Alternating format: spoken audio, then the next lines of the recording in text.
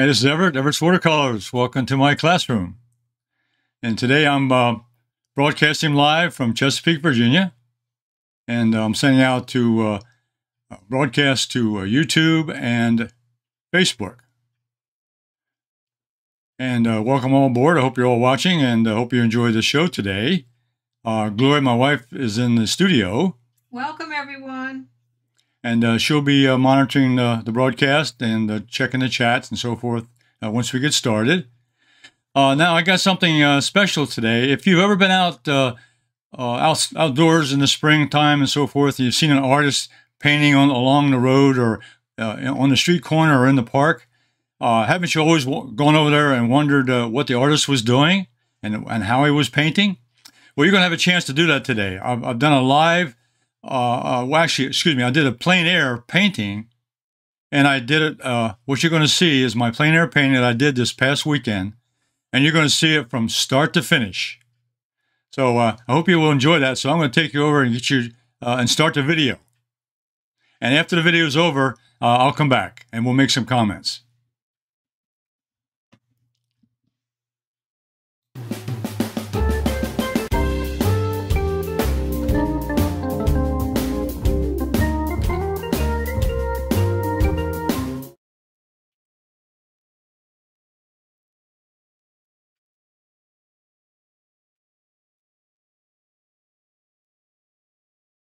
Hi, this is Everett, Everett's Watercolors. Welcome to my classroom.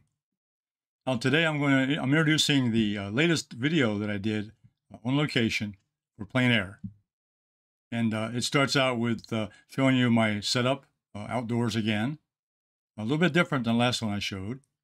And then I'm going to go from a start to finish painting on location. So let's go to the video. Okay, this starts out with my setup here. You can see I brought a chair, chair out with me this time to sit down to paint.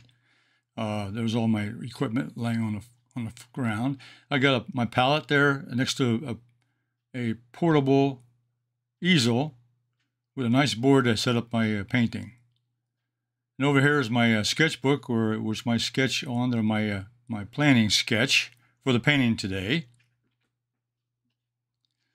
And uh, of course, the sketch, there's my palette, and uh, there's the uh, quarter sheet of Gemini watercolor paper, which I put the sketch on there. Now, this is the view I have from sitting down on the chair, looking at the view. This is the road to the ramp, boat ramp, and uh, I found it a very uh, fascinating little subject matter to do. One of my favorite places to go visit. So my setup here, I've got uh, the camera on my left side uh, looking over, and I'm starting out with the, uh, the Hake brush. And the first thing I'm going to do is I'm going to paint in the road. And I'm using a mixture of uh, uh, ultramarine blue and burnt sienna to give me a gray, a gray mixture. And then I'm using the, uh, the Hake Silver Brush Hake brush uh, which is the uh, that's the that's the small size brush, about an inch and a quarter wide, but uh, gives me a nice flow. And here I'm getting a nice dry brush look on the road. That Hake holds a lot of paint and it covers the it covers the uh, painting very quickly. So I'm going to use that a lot today, a couple times today. You'll see that in my in my demonstration here. So I'm starting out this way. This is the starting point where I'm going to uh, put in the road and I'm going to go through each step now and paint through the whole process here. So you can make comments and ask, ask questions along the way, uh, and I'll get back to you. Here's another brush. I got a three quarter inch brush. Now, when I'm on location, I have my travel set with me, but I bring other brushes along uh, if, if necessary. And I always have some larger brushes, especially on a quarter sheet piece of paper, because I, I have to cover a, lot, a larger, larger space, so I need a bigger brush. Now here I'm picking up some burnt sienna and I'm, I'm painting in the, those uh, background tree or middle ground trees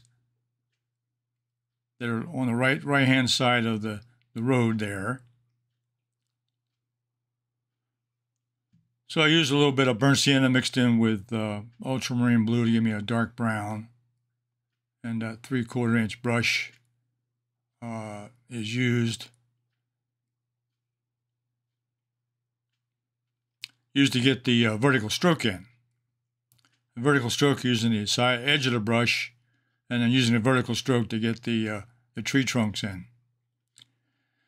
And I'm going to put in, uh, I switched to a smaller brush, number eight round brush. Uh, with the smaller trees there toward the background, I'm putting in the, the smaller trees, which are along the horizon line there. And this, that area is overlooking the, the small river bank back there. And I'm working on the left-hand side with, the, again, with a small brush. Those, those are smaller trees, so I'm using a smaller round brush to put those in the same paint mixture of uh, burnt sienna and ultramarine blue. So this road takes me, there's a little, a little hill here, and over the top of that hill, and looking down, I can see the water, the water in the boat ramp is right there. It's about uh, maybe 100 yards away on the other side of that uh, bunch of trees. Now I've mixed up some. Uh, I used the green number two here, and, and a little bit of a uh, little bit of ultramarine blue mixed in to make to make it a darker green. But now I'm putting in those low green bushes on the right hand side. So I'm filling. What I'm doing is I'm putting in some base colors here, uh, just to uh, fill in the white space. My first objective when I do a painting is I try to cover the white paper uh, as quickly as possible. And I'm blocking in the larger areas with, with color. I'll eventually come back and add some more value to that. And on the left hand side of the road, there's another group of low bushes, low shrubbery there at the at the on the ground beneath the trees.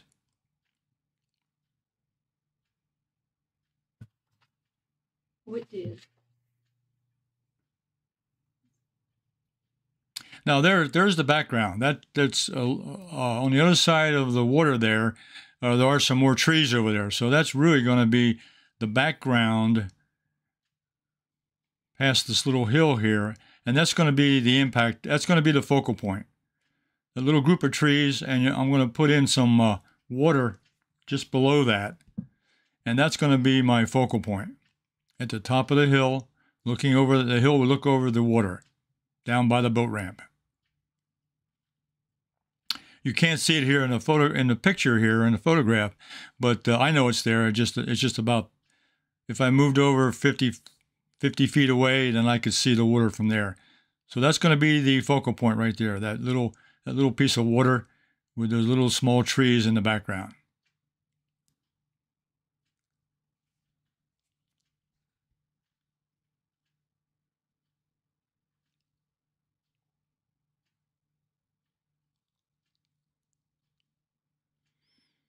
I'm in between each uh, section I paint. I'm I'm uh, mixing the, the colors I want on the on my small palette.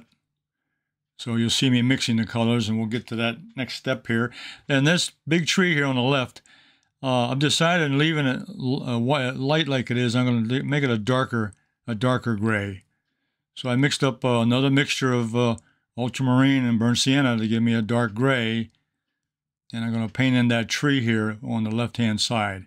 You can see that in the photograph. I'm going to leave this photograph, I'll leave up here as my reference, uh, just for, for you as a viewer to see what I am looking at. That's the view I have as I paint this particular painting on location.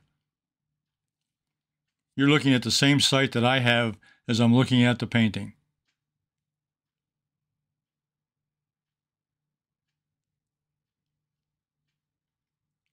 So I'm not following the photograph, I'm following the actual items that I see on the landscape. Uh, the photograph is just to give you a reference to, to appreciate uh, what thing what I'm painting and where it's located in the painting.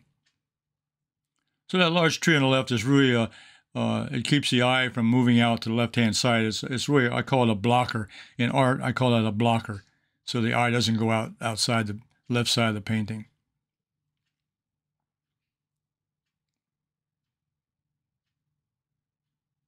And here using that three quarter inch brush, uh, I'm going to, the, the limb really isn't there, but I'm going to simulate I have a limb going across there. Uh, I'm using a little bit of artist license there to put in a, a small limb on that, that large tree. And what that does, that connects the left side of the, of the painting to the right side. Just another little technique, a little little artistic uh, license to use. Now I'm using that Hake brush again with a little bit of green mixture and put in some uh, base color down here in the foreground. Uh, there's some spring grass starting to grow, a little bit of brown grass, so it's quite, quite a mixture here. So again, I'm just covering up the white paper with a little light green mixture. And I'm using that Hake brush. That uh, that small Hake brush was about an inch and a half wide. is is a nice big brush to, to load and to cover a, a large area. And I'm yeah, painting around those fence posts. They'll be painted in later with a darker color, so it doesn't matter. So I can go ahead and put that color in real quickly. I'm putting the, the grass here just to, uh, it really, it really takes a, a, large area up here in the foreground, but it is part of the painting I want to have. It, it gives me the dimension of the painting. This is the foreground area. And I'm not, this is not really the most important part of the painting, so it's just going to be covered. And the brown, I'm going to put a little bit of burnt sienna in there just to give it a, a little mixture of color with the, uh, with the green.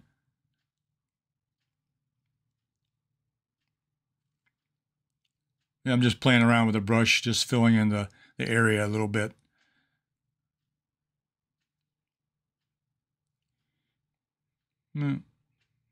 I take that same color now and go off to the right side of the painting, the right side of the road, and put in that same that same mixture of green on the right hand side of the road. And this is just a base coat, just to get the color in there, just to black out the uh, the white paper to block in the white paper. Now I'm using a smaller brush now with a smaller area. I use that three quarter inch brush, go up and, uh, uh, and fill in a little bit of grass up there on the uh, left side of the road.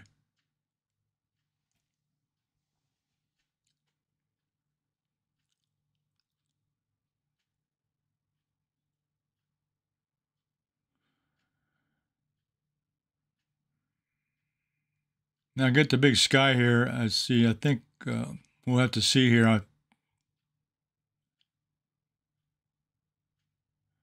yeah, I'm putting in the I'm using uh, cerulean blue here to uh, paint in the sky.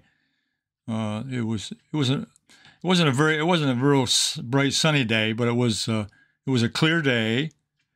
Uh, the sun wasn't really shining that much at this point in time but uh, wanted to have a, a, light blue sky there in the background. And that'll be covered up a lot with the trees, but I want to get the base coat in there, uh, and I'm using the Hake brush to, uh, to apply that cerulean blue across the background sky.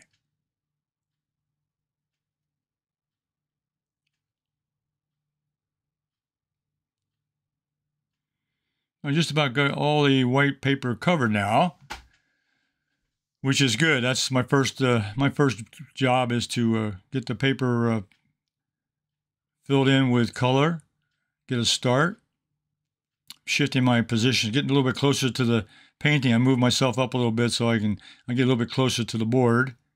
This painting this painting board uh, as an angle, I can uh, it's about probably 45 degrees or more.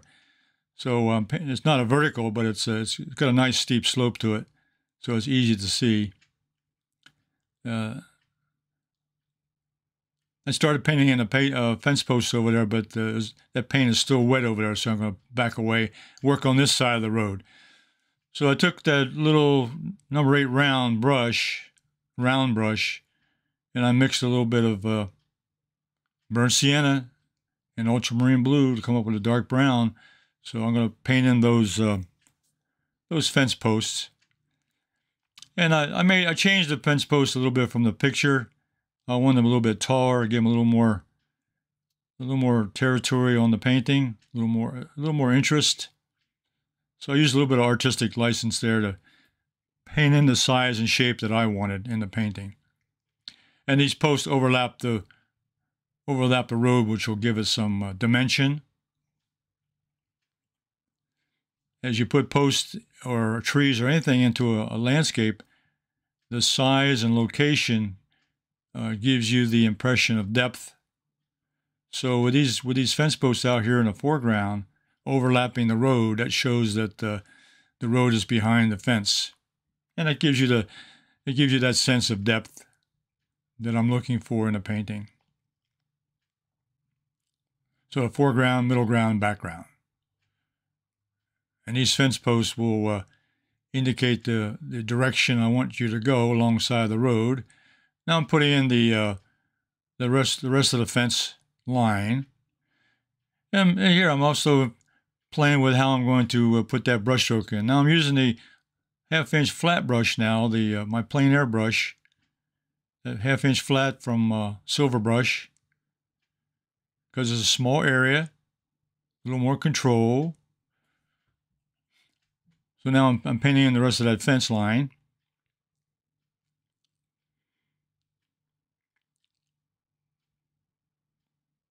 And I do have uh, I do have a, the drawing there. I can see some of the drawing, so I'm making sure that I got the the right perspective there uh, on that fence line.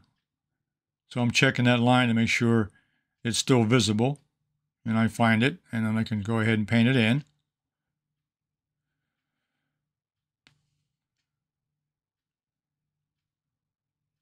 So this is a it's going to be a step-by-step painting, and uh, those of you that enjoy watching painting will, will enjoy this because I'm showing you all the steps I go through and all the process I do to, to, to make this painting. And it's very similar to lots of other paintings, except the subject matter is different all the time. But you're always uh, mixing the paints, uh, selecting the brushes that'll do the job, uh, looking at what brush stroke you're going to use, I use there the side of the brush, the end of the brush. Here I'm using the broad side of the brush because it's a little bit larger. That little uh, little plein air brush does a nice job. It's a it's a natural hair brush, and I use it I use it all the time in the studio. Take it to me on on my plein air paintings, along with other brushes. But I use this one quite a bit, along with the uh, the round brush, number eight round.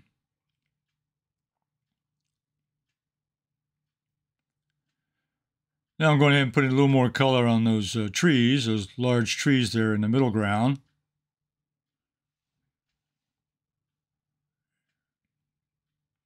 And those background trees will need a smaller brush, so I'm using the, the round brush. Here I'm putting the post.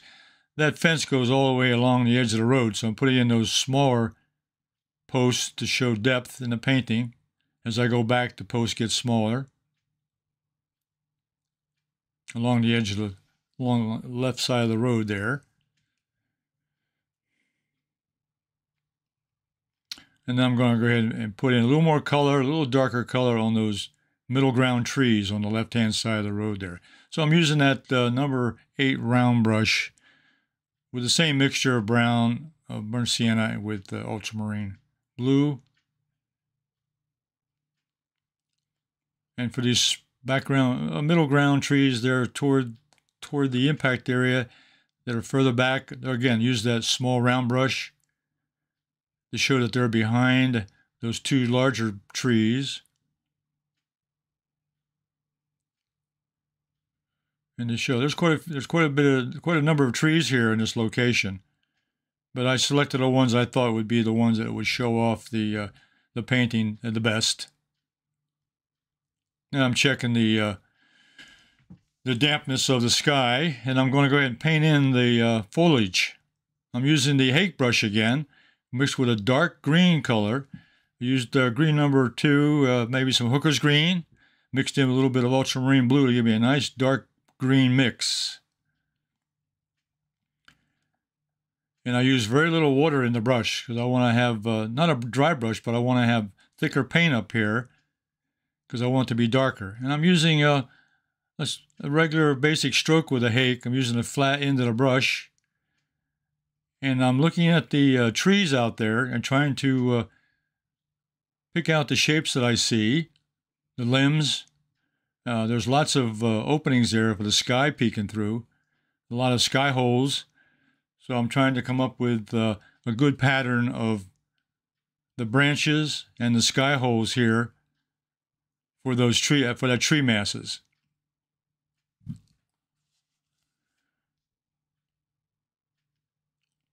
So this is something that's uh, really new on this particular painting is uh, when you find an area that you're going to paint, again, you need to uh, figure out what, what kind of brush you're going to use, how big of a brush, along with the color, and then you think about what brush strokes you're going to use.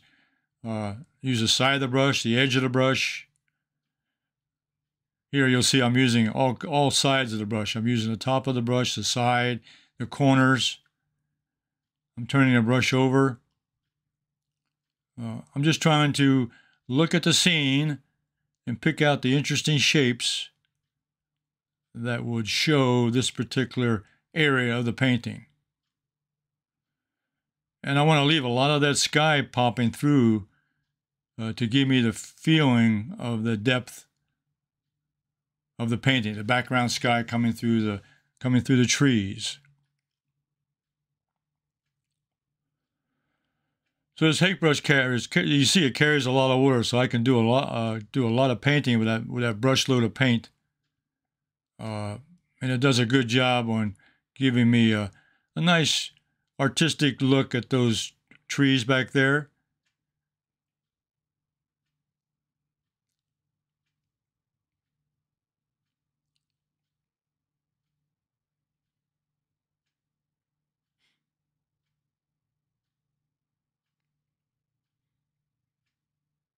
Mixing up another paint mixture on my palette.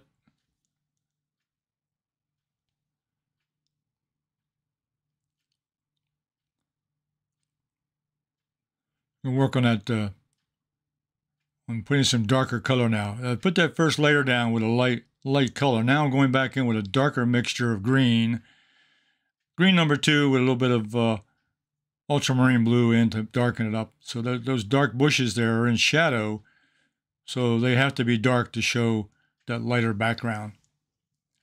So this is where the dark value against the light value will make that impact area, make the focal point really pop out. So this middle ground is dark. So the dark, the dark value of the paint, make that a dark green for those low shrubberies there beneath the trees. So again, I'm following the what I see. I'm actually looking at the location. Uh, just like you, when you look at that picture there, you're looking exactly, you're seeing exactly what I see as I paint this particular part of the scene. I'm looking at that part of the scene and I'm taking that brush with the with the paint and I'm painting in that area, that section with the color and the value that I see.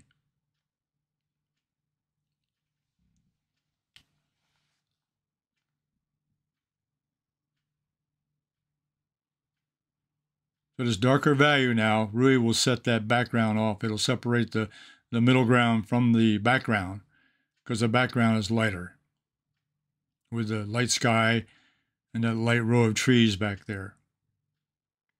And the water showing, which is the focal point. So this middle ground is going to uh, help highlight the uh, impact area by having a dark value. Now I'm using a smaller brush now. I'm putting darker value over here on the left, but because it's a smaller area, I'm using that small round brush, number eight, the silver brush, uh, my plein air brush that I'm using. I use that stroke with a little side stroke loaded with the same color of dark green. It'd be hooker's green mixed in with a little bit of ultramarine blue.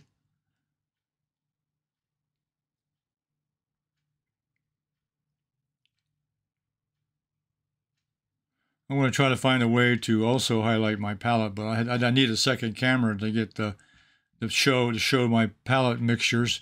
So I'm doing a, what I can to describe the mixtures as we go along. I really haven't changed that much colors. Uh, here's I'm putting in the fence post now on the other side of the road there. Using a round brush with uh, burnt sienna mixed in with ultramarine blue. Same same dark brown. So really, if you look at the number of color mixtures, uh, I really haven't changed that many colors. Uh, I'm using the colors around the whole painting basically the same. They might be darker. It might be a different mixture of brown with the with the blue or the green with the blue, but uh, it's the same color mixture. I think that's one of the uh, uh, things about painting is I try to minimize uh, the amount of colors that you need to do a scene, but just you just uh, modify or alter the mixture a little bit to give it a different value.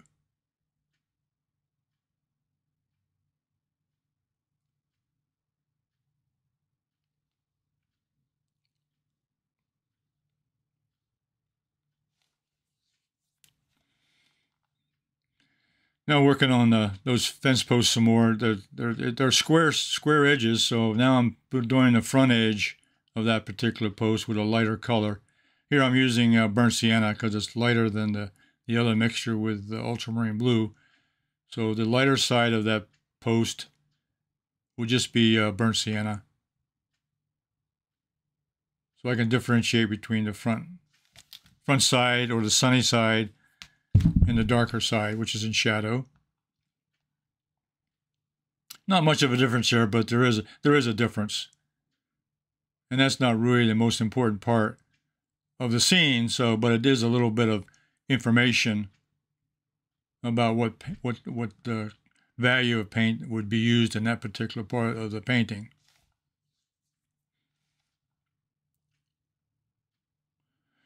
Now I'm adding, uh, using the Hake brush with a mixture of green and blue on it, and uh, I'm putting a little more texture here in the foreground because it's rough grass. Uh, there's not much dimension there, but I'm going to put a little texture here to show a little rough, little rough terrain here, a little bit of grass growing, a little bit of roughness. So I'm using the Hake here, and you can see I'm using all parts of the brush. I'm using the corner, I'm using the edge, I'm using the side. Uh, I can use this brush many, many ways. Uh, mainly, the big advantage is it, it, carries a lot of paint, a bit a nice paint load, uh, and the the brushstroke itself can be done very easily with uh, just tapping the paper with a loaded brush, and uh, I can do a side stroke, an end stroke, a corner stroke of the edge. Here I'm filling a little bit of the background, a little bit of the behind that fence there, and even further back along the edge of the fence. I'll continue on uh, adding some more texture here in the foreground. Uh, using different kind of strokes, uh, different, uh, picking up more paint off the palette, and then changing the brush stroke from the side to the edge, to the corner, vertical strokes, horizontal strokes. So it's just a variety of uh, brush strokes to give a little bit of interest here in the foreground.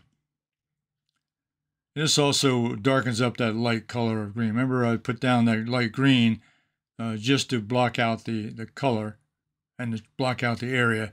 But then I go back in with a darker mix to uh, add in texture, add in a little darker value to create a more interesting, a more interesting area to look at. Not the most important part of the painting, but it is important to have a uh, an interesting foreground to lead into the painting.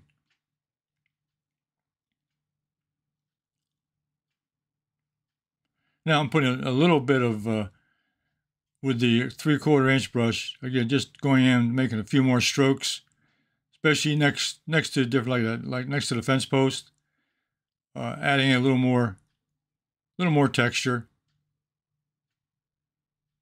on top of what I did already. Just adding a little more brush, different kind of brush stroke, different size brush.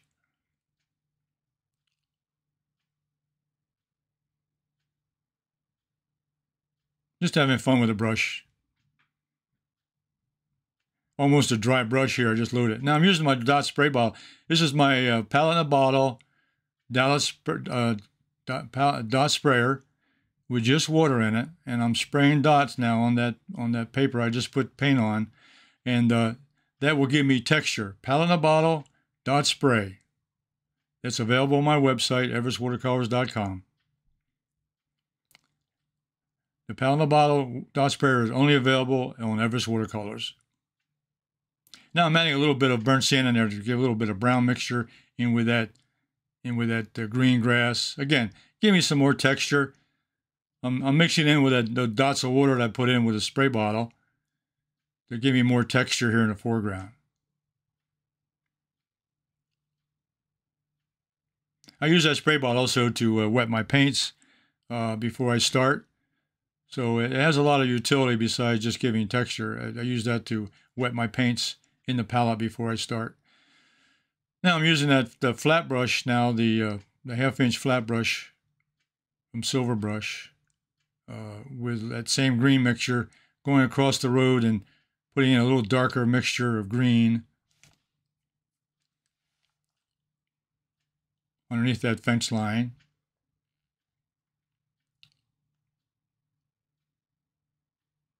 And with the round brush, uh, again, a little detail next to the posts and so forth, just to uh, clean up a little bit of the edges. Just a little refinement, a little refining around the, uh, the subject area with a smaller brush.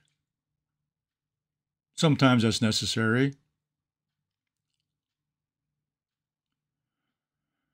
Now I'm adding a little bit of, again, a little texture here on this on this tree. I'm using that uh, three quarter inch flat brush and I'm picking up a little bit of dark color. It's really that green mixture with a little bit of blue, more blue mixed in it. And uh, with very little water, it's almost a dry brush technique here. And I'm just putting a little bit of texture on that tree. So what I'm doing is I'm just doing a dry brush stroke and I'm adding a little bit of uh, color with the dry brush stroke and it'll give me a little texture on that on that uh, big old tree sitting there on the left.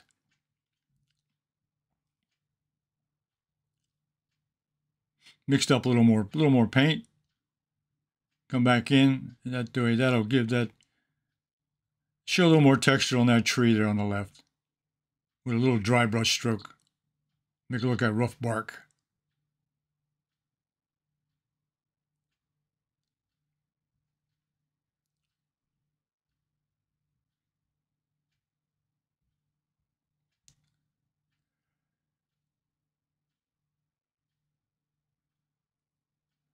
Now I'm going back into the trees with a darker mixture of green. Uh, again, this this is my second uh, visit to the trees again. Uh, the the uh, evergreen part, or not evergreens, but the uh, yeah, they are evergreens, but to put in a darker mixture of green on top of what was there.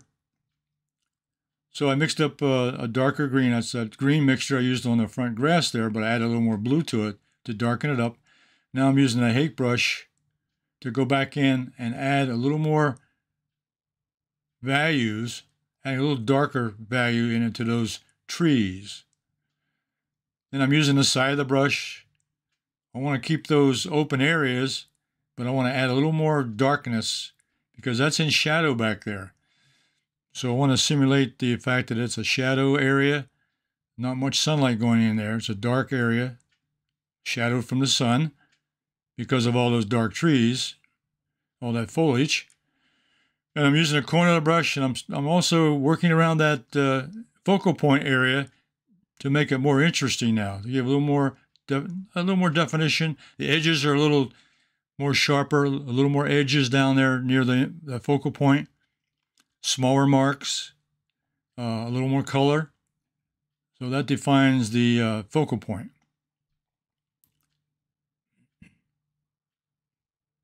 So adding a little more, a little darker color will make that impact area uh, pop out even more.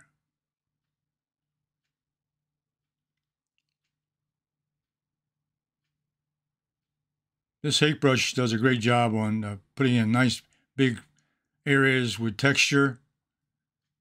Uh, when the edge of the brush, I can get a nice little rough brush stroke there with the uh, dry brush stroke with the edge of the brush. So it's it's a very very useful brush to have in your repertoire. And that's available on my website, everettswatercolors.com.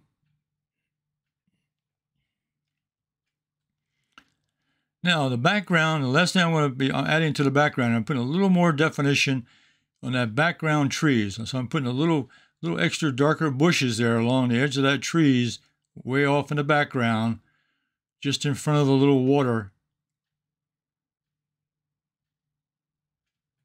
It's a small, it's a small waterway back there. That's where the boat ramp is located.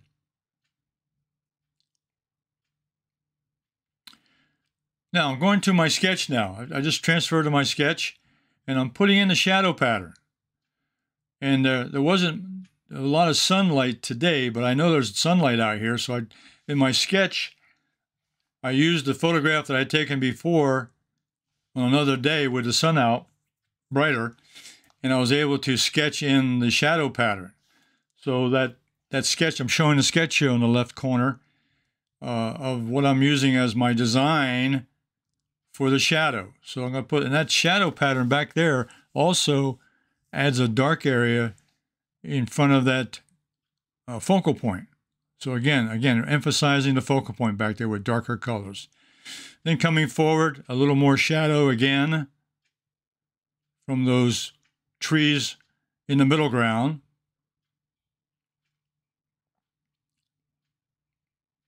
moving across the ground. Using a uh, three-quarter inch brush. Here I'm painting with the corner of the brush. And the mixture is a, a gray mixture, ultramarine and burnt sienna. Uh, give me a gray mixture across that gray road. It's a gray road, so I'm using a gray mixture for the, for the shadow. And I put a little bit of uh, quinacridone violet a little bit of purple in there also, just to give a little cool, little warm feeling. Now bring that shadow pattern down a little bit further along the road. That breaks up the road shape. Also gives me a little dimension of the road, shows the shadows going back. So that helps. Now this wasn't in my drawing, but I went, I'm going ahead as on location. I've made a decision to go ahead and add the shadows for those fence post, which seems realistic because there's shadows everywhere else at this point. So I added shadows here from the fence post coming across the road. This gives me another little uh, added feature for the painting. So I came up with this as I was looking at the scene to go ahead and add in the shadow pattern from the fence. Also the fence over here, uh, the same sunlight is hitting both sides of the road, so there'll be a little shadow coming off these fence posts here on the left side. Again, to make the scene a little more believable with the light, the shadow, showing the, the direction of light and the direction of shadow. And that will that pretty well completes what I show. That's that again is a picture of the scene that I was painting from. And I'm going to bring you down slowly to the final the final painting, which is where I finished up the final painting that I did on plein air. You've seen everything from beginning to end.